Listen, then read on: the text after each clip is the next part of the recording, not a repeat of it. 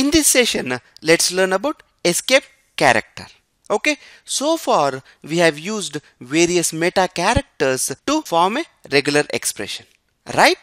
What are the various meta characters we used? We used dot, plus, star, right?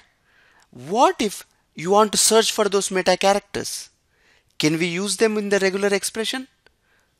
No, we cannot because Oracle database will think them as meta characters.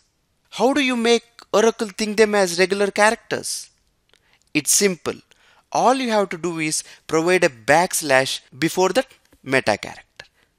Okay. Here, suppose example, I want to search for a character plus, but plus is already a meta character, right?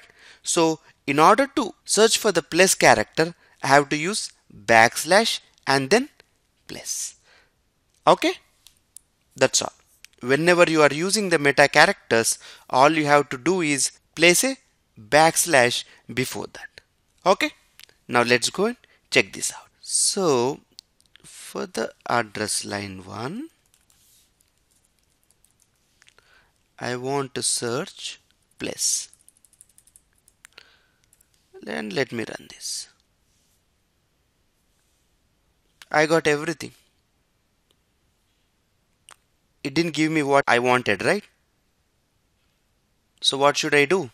I need to place a backslash. That means I am searching addresses which have a plus symbol. Okay. So now let me run this. You see now 485 plus Gandhi Road. I got one address. Okay. In the same way, if you want to look for any dots you have to say slash dot. There are no addresses obviously. Okay